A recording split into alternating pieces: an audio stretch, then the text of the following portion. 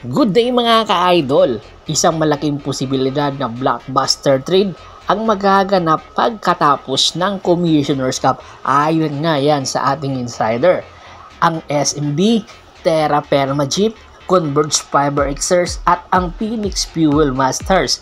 Kumbaga, for team trade na kung saan involving ang multiple players para makuha ng SMB ang number 1 pick ng Terra Permagip sa paparating na PBE draft na kung saan target nga kumuha ng isang big man na magba-backup kay Junmar Pajardo at malaging potensyal na maging superstar someday ng SMB pagpaplano ito sa future ng SMB na kinakailangan ng baguhin bago pa mahuli ang lahat. At ang Converge Fiber Xers ay kukuha ng mas malalim na lineup at big man para makakuha ng maganda-gandang lineup para sa paparating na Philippine Cup.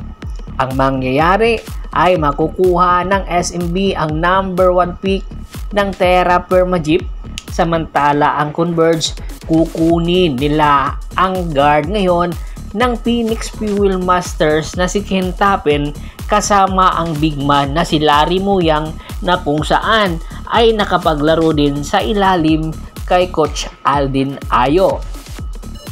At ang Phoenix naman, makukuha rin ang big man ng Converge Fiber Xers na si Gio Ambuhot Plus, kasama na dito ang guard ng SMB na si Simon Enciso na kamakailan lang ay hindi pa nakakapirma ng contract extension at hindi rin naglalaro para sa SMB dahil meron daw iniindang injury.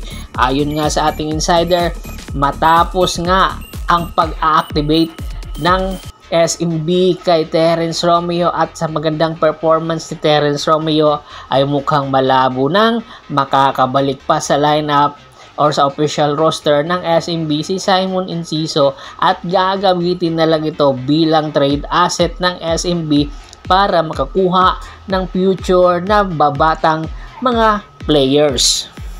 Samantala, ang Terra Permagip ay makukuha si Big Manuel na ngayon ay nasa injured list ng SMB plus future picks ng Terra Perma or rather ng SMB, ng Converge at ng Phoenix Fuel Masters. Sa nasabing 3-team trade, rather 4-team trade ay anytime ay may babaguhin pang package ang mga iba't ibang kupunan na involved dito at malaki ang posibilidad hihintayin lang matapos ang Commissioner's Cup at meron pang mga superstar players ang posibleng isama sa nasabing 4-team trade dahil ang target lang naman ng SMB dito ay makuha agad ang number 1 pick ng Terra Permagip sa paparating na PBE draft ngayong taong 2024. Ano sa tingin nyo?